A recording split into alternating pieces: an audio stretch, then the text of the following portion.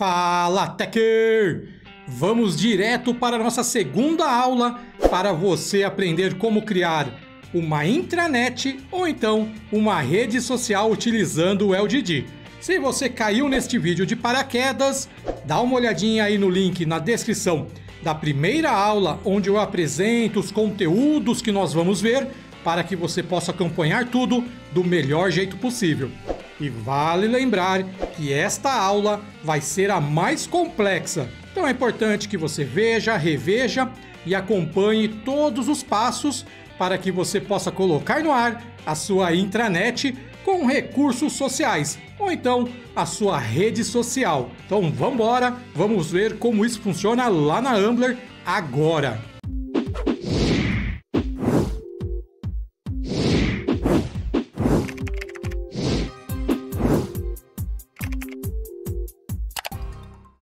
Primeira coisa que você precisa fazer é o download do LDD para o seu computador. E isso é muito fácil. Aqui no site oficial do LDD, o link vai estar aí na descrição. É só ir aqui em Get LDD, que é o download, e aqui ele tem já o botãozinho para você baixar a última versão, que é a 3.3.18. Eu já baixei este arquivo aqui para o meu computador, está aqui, né? E depois que você baixa é só descompactar.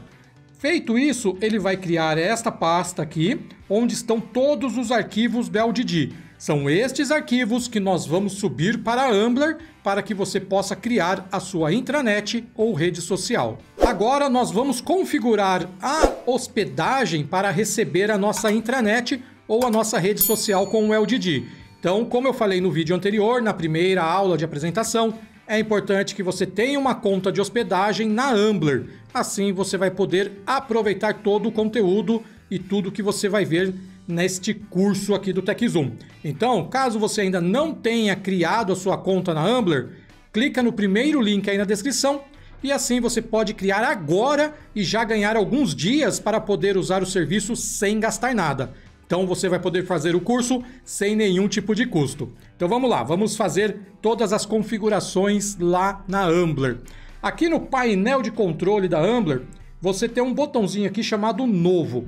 Esse botãozinho Novo é onde você configura o seu domínio. Para o nosso curso, eu vou usar o domínio geekzoom.com.br. É um domínio que eu já tenho. Então, aqui na hora que eu digito ele, ele fala que já está registrado e aí, nesse momento, eu posso dizer que, ok, eu sou o dono desse domínio. Agora, nós vamos configurar o nosso ambiente, onde o nosso site, onde o nosso LDD será hospedado. Então, eu vou clicar neste botão aqui, criar site, e agora eu vou definir todas as tecnologias e informações deste ambiente onde eu quero usar a hospedagem. Então eu vou escolher o PHP, porque o LDD é uma plataforma PHP. Aqui embaixo, no ambiente, eu vou escolher Cloud Sites, porque vai ser uma intranet, vai ser uma, uma rede social, então ele precisa ter ali alguns recursos mais avançados.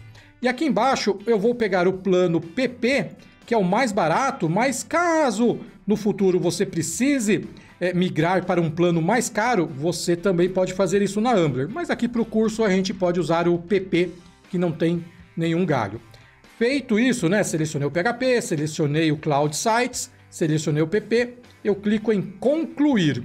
Agora ele vai fazer toda a configuração lá no servidor, onde eu vou poder depois subir a minha aplicação. E nós vamos usar o Git, vamos usar o SSH e todos os recursos que a Ambler tem para ajudar a gente no deploy da aplicação. Mas antes disso, a gente vai criar banco de dados, vai fazer um monte de coisinhas. Então, assim que terminar a configuração, a gente continua. Pronto, a própria Ambler já fez toda a configuração inicial para a gente. Quando aparecer esta tela aqui para você, quer dizer que está tudo configurado. Aí é só clicar no botãozinho verde, ir para o site e é aqui que a gente começa a configurar o nosso ambiente. A primeira coisa que você vai fazer é mudar a versão do PHP. Então aqui, ó, no ícone do PHP tem um combozinho aqui. Nós vamos mudar para o 7.3. A gente clica e o próprio, a própria Ambler já começa ó, a fazer a configuração para a gente. Esse passo é mega importante porque senão o LDD não vai rodar, não vai funcionar no ambiente aqui na hospedagem. Então, assim que você configurar o site, assim que você criar o site, é importante que você também mude a versão do PHP. Depois que ele mudar a versão, porque é uma coisa relativamente rápido, pode levar aí um ou dois minutos no máximo, nós vamos fazer o que? Nós vamos criar o nosso banco de dados. Porque, como eu falei, o LDD é PHP e utiliza o MySQL como gerenciador de banco. Então eu vou dar um nome para o meu banco, vou chamar ele de Geek Intra, né? Porque é uma intranet do GeekZoom, né? Que é o, é, é o domínio que nós estamos utilizando. O usuário eu vou chamar ele de Geek01, né? Porque é o primeiro usuário que eu estou criando aqui. Vou digitar uma senha no meu para acesso ao meu banco. Então é importante que ela tenha oito caracteres no mínimo e pelo menos uma letra. Então eu, eu já tenho aqui é, esse, esses requisitos. E aqui embaixo é o preço ou o tamanho que você quer pagar por, para usar este banco. Ele começa em 90 centavos, é, depois, isso é por mês. Depois você vai para 15 reais mensais ou 35. Eu recomendo que você já selecione 15 reais, porque assim você tem 2 GB de espaço e 50 conexões simultâneas. E conforme a sua rede social, a sua intranet for crescendo, aí você pode migrar para o plano mais caro. Mas por enquanto, nos 15 reais está de bom tamanho, vai funcionar tudo. Clico em criar, ele já criou o banco, já configurou. O que nós vamos fazer agora é configurar o acesso SSH e também do Git para a gente poder fazer o upload, o deploy do LDD que está no meu computador para o servidor da Ambler. Com o banco criado, agora nós vamos para a parte do Git, do SSH. Então é o seguinte, a gente vai vir aqui na opção Deploy do nosso painel da Ambler, vamos ir na opção Git Remote, vamos clicar lá e vamos habilitar esta funcionalidade ele vai fazer, a, o, a, vai habilitar, né? vai deixar disponível e vai dizer que a gente precisa de uma chave SSH autorizada para acessar o nosso servidor. Então nós vamos vir aqui ó, em configurar SSH e aí vai começar a ficar bem legal, porque nós precisamos fazer algumas coisinhas do nosso lado no nosso computador. Então, inicialmente, você precisa ter aí o Git instalado, para que tudo que eu vou mostrar aqui funcione. Então, se você ainda não tem o Git, instale agora e caso você não saiba como instalar, dá uma olhadinha nesse vídeo aqui que eu falo bastante sobre o Git e aí você pode aproveitar. Mas para o curso não ficar muito longo e chato para quem já conhece essa parte de Git, eu não vou mostrar agora, mas recomendo que veja o vídeo aí do card que vai te ajudar. Então agora a gente vai fazer o seguinte, vamos voltar aqui para o nosso computador eu vou rodar o git bash aqui, né? Então aqui em qualquer lugar da pasta eu clico em git bash, botão direito, git bash, e ele vai abrir o bash, que é o terminal aqui do nosso é, git instalado no Windows. E aqui eu vou fazer o seguinte, vou digitar ó, ssh keygen, porque eu quero gerar a minha chave SSH aqui no meu computador. Vou dar o Enter Aqui ele pergunta onde você quer salvar esta chave. Então é só dar o Enter, é interessante que você deixe neste mesmo local. Aqui, caso você já tenha gerado uma chave anteriormente, ele pergunta se você quer sobrescrever ela, no meu caso sim, mas no seu caso não deve aparecer nada aí, caso você ainda não tenha gerado a sua chave. Dou o Enter, ele pergunta se eu quero uma senha, não quero, então dois Enters, pronto, criou a minha chave. E aí, olha só, ele cria uma chave privada que fica aí no seu computador, que é super importante que você não compartilhe com ninguém. E cria também uma chave pública. Nós vamos precisar desta chave pública. Então eu vou copiar aqui a URL dela, né? Copiei. E vou fazer o seguinte, vou digitar aqui na linha de comando, no terminal, no bash, o seguinte comando cat e aquela URL que a gente acabou de copiar lá. Porque ele vai me mostrar o conteúdo da minha chave. E daí eu vou copiar, né? Vou fazer aqui o copy dela. Então eu, com o botão eu seleciono tudo, com o botão direito eu clico em copy. Pronto, copiei. Aí, veja bem, eu vou aqui, né, na tela da Ambler, onde nós estávamos antes, e vou fazer o seguinte, vou dar um nome para nossa chave. Eu vou chamar ela de Key Geek e vou colar aqui aquela chave pública que nós geramos, que nós copiamos ali no passo anterior, lá no Bash. Fiz isso, eu clico em autorizar esta chave. E aí ele vai fazer todo o processo e vai me mostrar aqui, ó, que a chave foi cadastrada e já estamos perfeitamente configurados para fazer o deploy da nossa aplicação. Essa é uma parte muito importante, é uma parte mais complexa, principalmente para quem está iniciando agora, mas com calma você consegue, não se desespere, porque depois que você começa a trabalhar com Git, você nunca mais volta para o FTP. Pode ter certeza disso, eu garanto, eu garanto, meu amigo. Então vamos lá, né? Tá habilitado, vamos voltar aqui em deploy, vamos de novo aqui em git remote e olha só, ele vai me dar todos os comandos que eu preciso para fazer o deploy do meu site, da minha aplicação que está aqui no meu computador para o servidor para Ambler. Então vou fazer o seguinte, vou abrir aqui o nosso bash de novo, né? Que é onde está é, a nossa aplicação. Então se eu der um dir aqui, ó, o LDD está aqui, tá? Deixa eu só dar um clear e dar um dir de novo, e daí vocês vão ver que a nossa aplicação está aí, está completinha, todas as pastas. Então, o que ele pede? Nós temos que digitar aqui git init para, para iniciar o nosso git. Então eu digito esse comando, ele vai iniciar o Git aí dentro desta pasta. Olha lá, inicializou, beleza. Agora eu tenho que adicionar os arquivos e pastas para dentro ali do Git para a gente poder fazer o deploy depois. Então o Git add espaço ponto. Agora é o seguinte, esse comando aqui vai levar aí alguns minutos, vai levar é pelo menos uns dois, três minutos, porque são muitos arquivos na aplicação então, este comando demora um pouquinho sim. E agora, nós vamos para um novo comando aqui do Git, que é o git commit. Então, a gente vai fazer o seguinte, vamos lá, né? Então, vamos digitar aqui na linha git é, commit-m dentro das aspas publicação intranet. Intranet e, né, entre, é, dentro de aspas duplas. Aí eu dou Enter, ele vai fazer, ele vai comitar o nosso lindo e bonito site feito em LDD, nossa intranet. Isso aqui também leva aí alguns segundinhos, demora menos que o comando anterior, mas tem ali um tempinho, né? Você tem que aguardar aí alguns segundinhos também.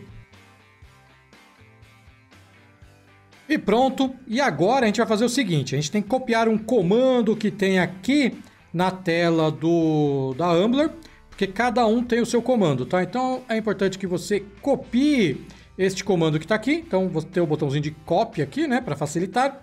Volte lá no nosso bash e cole o comando aqui.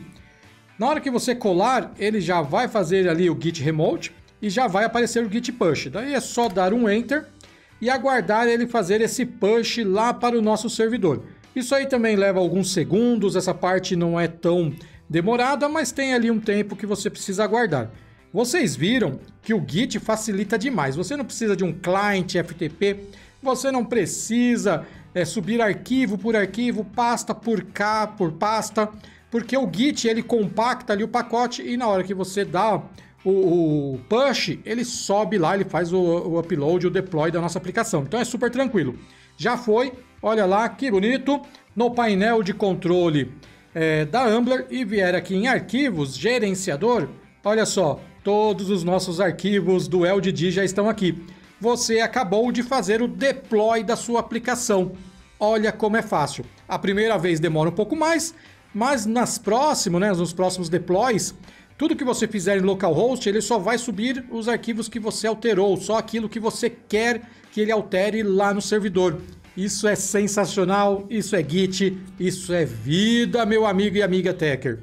Agora vamos fazer o seguinte, né? Vamos voltar para cá ele, né, enquanto a gente não fez, é, é, não subiu o, a aplicação, a intranet para produção, a gente tem aqui ó, um domínio, uma URL que a gente pode usar é, como é, temporária ali para a gente poder configurar a nossa rede. Então eu vou acessar esta URL aqui numa nova aba. Ele pede um login, uma senha, né? Um login, um usuário, uma senha. Então aqui ele mostra o usuário e aqui ele mostra a senha. É sempre o mesmo para todo mundo. É só clicar em fazer login e ele já cai na tela de instalação do LDD. A partir daqui, nós vamos realizar a configuração e instalação inicial da nossa intranet e da nossa rede social. A partir daqui as coisas são mais simples, mas tem um detalhe que você precisa fazer, que é na hora da gente definir a pasta de data, a pasta de dados do LDD, porque ele tem uma pasta ali que conforme o curso for avançando eu vou explicando pra, para que ela serve. Mas você precisa saber onde criar ela para conseguir instalar o LDD corretamente. Mas vamos lá que eu vou mostrar tudo isso para vocês. Então, vamos embora lá para a nossa instalação. Aqui na instalação nós não temos o idioma português, então vamos no inglês mesmo. Vamos clicar em Next. Aqui ele te dá algumas informações, alguns avisos, mas ok, isso aqui vai funcionar, porque nós vamos configurar o PHP e outras coisas lá no servidor mais para frente. Então é só a gente clicar em avançar, em Next, e aqui a gente precisa entrar com as informações do nosso banco de dados. Onde a gente pega essas informações? Lá na Ambler, lá no painel. Então eu venho aqui no banco de dados, né, que é aquele que a gente criou lá atrás, vou entrar nele, então é só clicar em cima dele, e aqui ele me dá todas as informações. O que eu preciso? Do meu host, então eu vou copiar ele, né, porque eu preciso dele aqui na instalação. Ele me pede o, o, o database host, que está localhost, então a gente tira e coloca esse. Ele me pede também o usuário deste banco, me pede também a senha e, claro, o nome do banco que está nesse servidor aqui que a gente acabou de colocar. Aqui a gente pega tudo isso. Então eu tenho aqui o usuário, vou levar este usuário pra, para lá. A senha, caso você não lembre mais qual é a senha, sem problemas, você pode copiar a senha aqui e depois colar ela aqui. E aí, o database name, caso você também não lembre, olha só, ele mostra aqui, é o Geek Intra, que a gente criou também lá atrás. E daí eu venho e colo ele aqui. Agora vem aquela parte do diretório de data, de informações do LDD, que a gente precisa criar. Então nós vamos lá na Ambler, vamos em arquivos, gerenciador de arquivos. Aqui nós vamos sair da public, vamos um nível abaixo, um nível antes dela, e vamos criar uma pasta aqui chamada data tá? Criei uma data no mesmo nível do public. Então você, na hora que entra no gerenciador, você está aqui. Você vai clicar na barrinha azul para sair e vai criar a sua pasta data aqui. Lá na instalação, nós vamos digitar o seguinte: barra home barra o seu domínio, que no meu caso é geekzoom.com.br, barra data. Lembrando, é o seu domínio que você vai digitar aqui. Então, você tem que ver o domínio que você cadastrou aqui no, na Ambler no painel de controle. Se você digitar errado, não vai funcionar, a instalação não vai avançar. Então, preste bastante atenção nisso.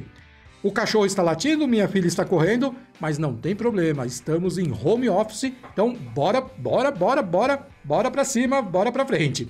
E olha só, deu certo, quer dizer que as informações que nós digitamos lá atrás funcionaram. Agora a gente vai para a configuração do site. É o nome da nossa intranet. Então eu vou pôr, ó, intranet. Opa, vamos digitar certo aí para ficar bonito, né? Intranet Geekzoom. Vamos colocar um e-mail aqui. Eu vou usar o techzoom, techzoom. E aqui é o nível de acesso. Eu vou dizer que todo o conteúdo da minha rede social só pode ser acessado por pessoas que estiverem logadas. Então, é um, um jeito legal da gente manter lá tudo fechadinho. Vou clicar em Next novamente, né, que eu vou avançar para o passo 5. E aqui a gente vai digitar o nome que vai aparecer para os nossos usuários. Eu vou colocar Siloto. O e-mail eu vou usar o mesmo e-mail. O meu usuário será Siloto também. A minha senha eu vou usar uma senha bem difícil aqui para ninguém descobrir ela, porque é a senha do admin. Eu recomendo que você faça o mesmo aí, porque é extremamente importante que essa senha fique apenas com você, dono do site, administrador do site, porque senão você vai ser hackeado e vai perder tudo que você está fazendo. Então, coloca uma senha bem difícil aí. E agora nós vamos clicar em Next novamente e vamos para a última etapa aqui, para a finalização da nossa configuração da nossa intranet, do nosso site LDD. Olha lá, finalizou. Agora eu posso ir para o meu site, ou seja, eu posso acessar a minha intranet. Aqui eu vou digitar o meu usuário, vou digitar a minha senha de admin, vou acessar, né? Vou fazer o login e para pronto, a nossa intranet, a nossa parte mais básica ali do LDD já está instalada, configurada e funcionando na Ambler. E aí eu tenho um menu de administração aqui, onde eu vou fazer toda a administração do nosso site, da nossa intranet, da nossa rede social. Mas isso é na próxima aula que vocês vão ver e acompanhar exclusivamente aqui no TechZoom.